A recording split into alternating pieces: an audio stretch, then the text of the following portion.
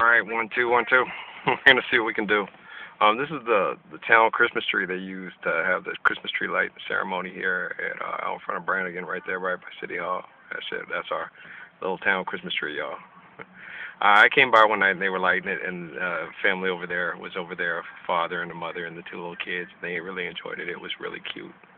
It's you know. It, it's neat to see a family when they when they're enjoying one another and they're in those good moments of of of uh, of enjoyment of one another, man.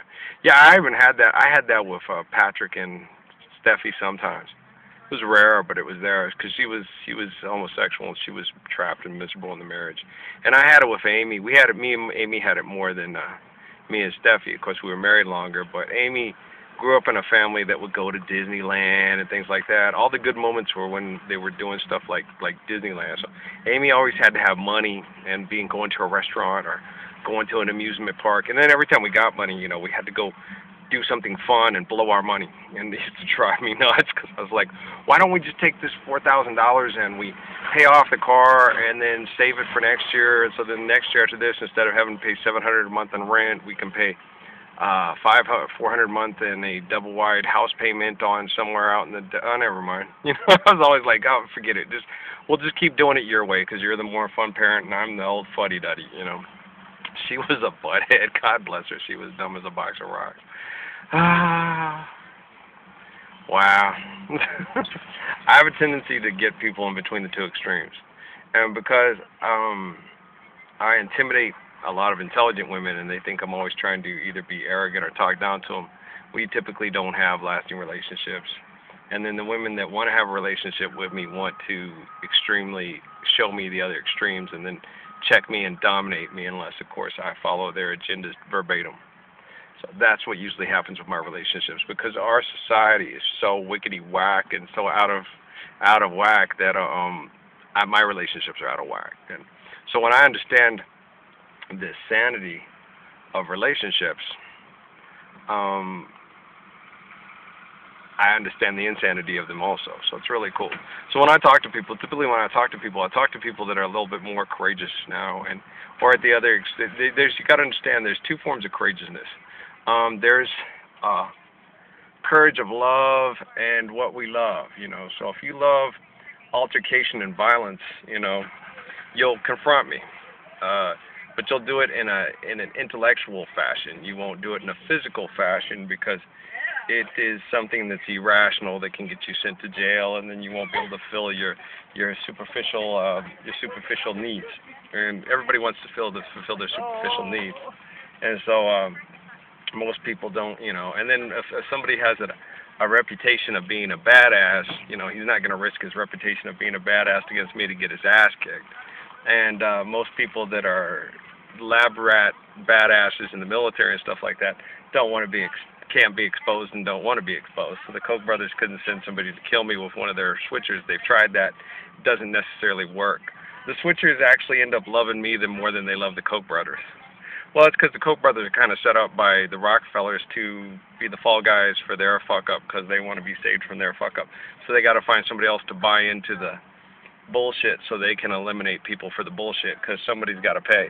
Uh, we can't do it through honest, uh, faithful, and intelligent reason and through just admitting we're wrong because they were so bad they don't want to admit how bad wrong they was. You know what I'm saying?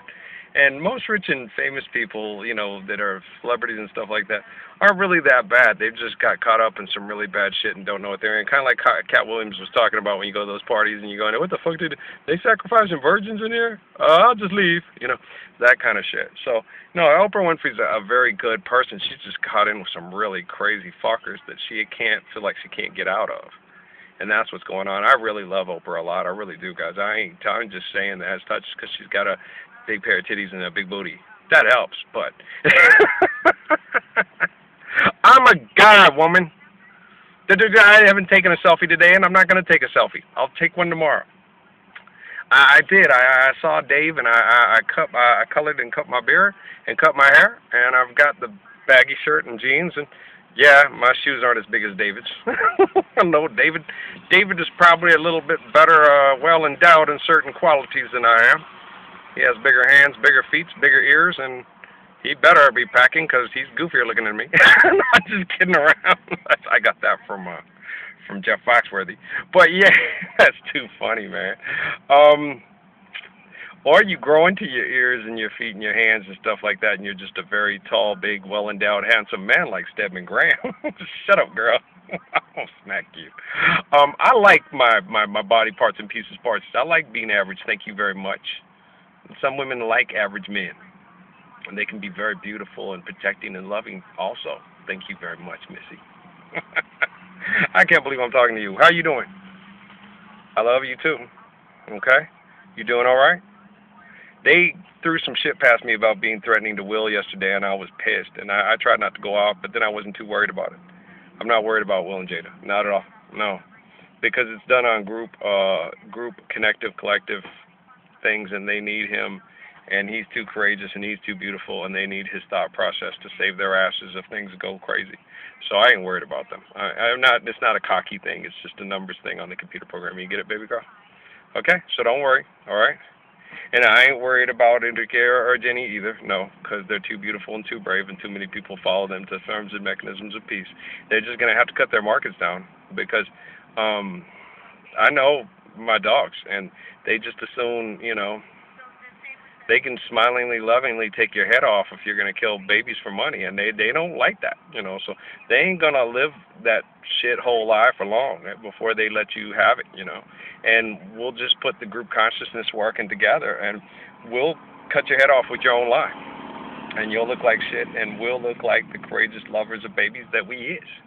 Um, you don't need to mass murder people to manage your environment. You can train people to be managers of their environment without mass murder you can train people to have good observation analysis uh, skills like me and the um, professor we're talking outside on the little amphitheater thing and steps there outside of Corbett and then like the gentleman from New York that we had the long conversation to. Um, it was beautiful. Thanks.